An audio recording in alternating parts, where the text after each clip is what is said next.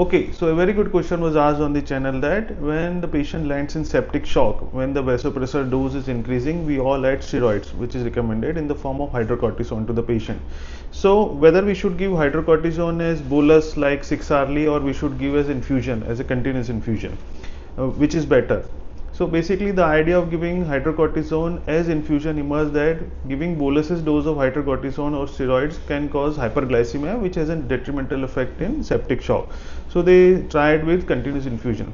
But whatever the studies, whatever the literature, whatever the meta-analysis ha have been done, they showed that there is no mortality benefit or no change in the hyperglycemia whether given as bolus or uh, as an infusion. In fact, there is no change in hypernatremia, ICU associated weakness, vasopressor free days, ICU length of stay. So it's up to you whether you need, need to give bolus or infusion. Bolus is recommended. Do read more about it.